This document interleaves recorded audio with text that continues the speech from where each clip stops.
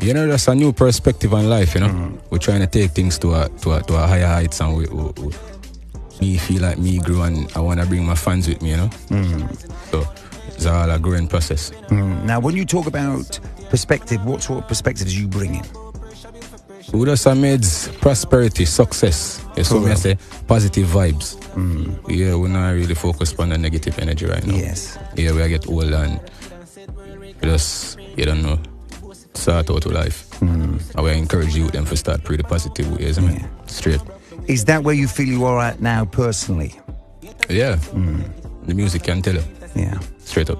And then, and you feel like it's important for you to give that message to, like, you know, the, the youth out there, especially, you know, youth who can, you know, lose their way early.